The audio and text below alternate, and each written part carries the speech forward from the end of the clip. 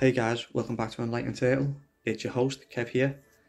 Today we're going to be taking a look at a recent archaeological discovery of an alleged giant city in Ecuador.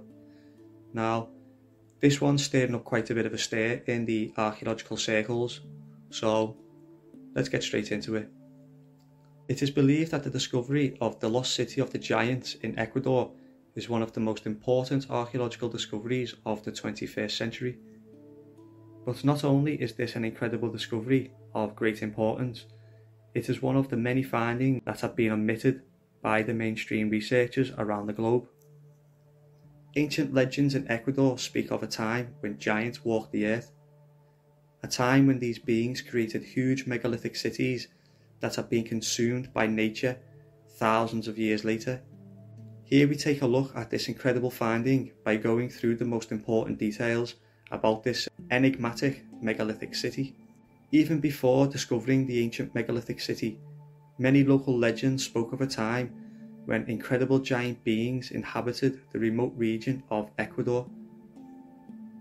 These giants created megalithic sites, and this ancient city is just one of many that are supposedly located in the region. In order to find the lost city of giants, a group of explorers teamed up with the locals who were all aware and knew that this ancient city was in fact a real place.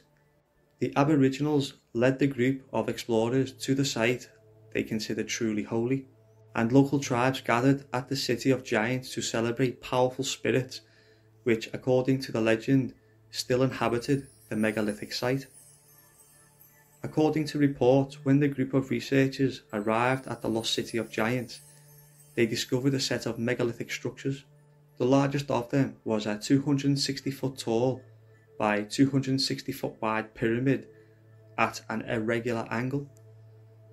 The massive pyramidal shaped structure is believed to have been made by huge boulders weighing no less than 2 tons. Located on the top of the pyramid is a flat, polished stone which is believed to have been used as a ceremonial sacrificial stand. It looks like a paved wall, an ancient street or plaza with 60 degree angles, perhaps the roof of the large structure, said French American archaeologist Benoit Duverneuil. Many of the stones were perfectly aligned and have sharp edges and seem to have been sculpted by human hands. According to a group of researchers who discovered the enigmatic giant pyramid, the structure's body was apparently covered by lichen, even though the remaining visible boulders reveal a thick layer of impenetrable material that held the stones together. Many believe that this mysterious material is evidence of the first concrete like material used in Mesoamerica. However, the structures found at the City of Giants weren't the most impressive discoveries. According to archaeologists, the most important discoveries made at the site were the oversized and odd manufactured tools, which remained at the site for an incalculable time. Blending in with nature, the size of the tools would make it impossible for humans to use them. According to Bruce Fenton, writer, researcher, and member of the team that found the presumed City of the Giants, this is the ultimate evidence that proves giants inhabited Earth in the distant past and built incredible cities and structures. What really points strongly towards this habitation having housed the same race of giants is the presence of extremely oversized hammers, or at least the stone hammerheads, he said. Assuming they were attached to the hardwood handles, they would have been both incredible in size and weight, making their use as tools impractical for a typical Inca or indigenous Indian.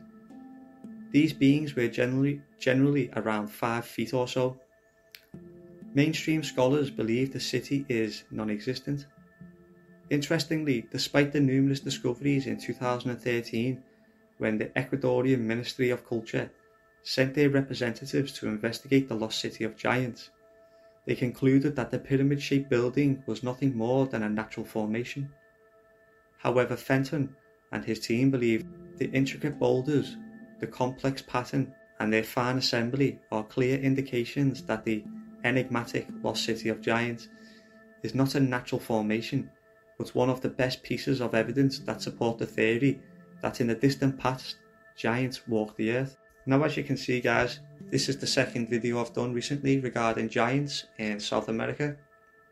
And if anyone has been following my work regarding British history, obviously uh, Great Britain was allegedly named Albion as the oldest name that we've been able to trace to Britain, which was the name of a giant king that apparently resided in Great Britain. This story and all this mythology surrounding giants that the mainstream choose to ignore is actually there's a lot more than just mythology and hocus pocus. There's actually a lot of physical indications that giants once walked the earth. So let me know what you guys think. Do you think giants once existed? Thanks for stopping by, guys. Peace.